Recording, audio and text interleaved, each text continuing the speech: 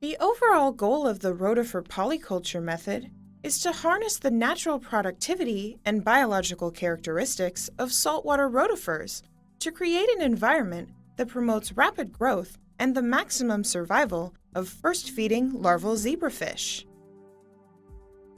The primary advantage of this technique is that it dramatically decreases the amount of time and space required to successfully rear large numbers of zebrafish larvae for use in research experiments.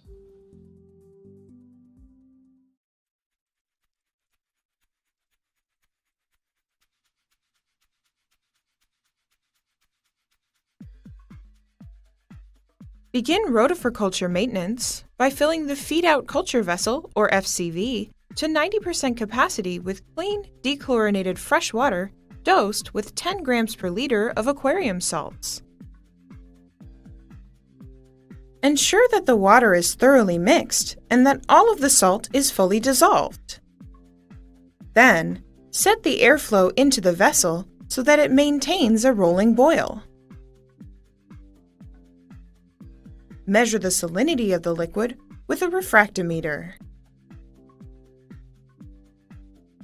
Next, sample the rotifers in the culture vessel, or CV.